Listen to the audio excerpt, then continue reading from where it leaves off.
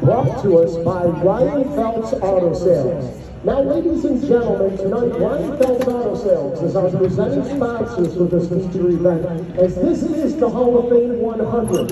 And back in the month of July, before this race was scheduled to be run, we had a very special induction up at the Northeast Modified Hall of Fame. Craig Von was one of the drivers that is still active that was inducted into the Hall of Fame on that night, and the other driver that was inducted that night that is still racing and still winning in Central New is the driver that is starting back in position number 22 tonight, and that is Billy Decker. Billy Decker inducted into the Northeast Modified Hall of Fame here in 2022.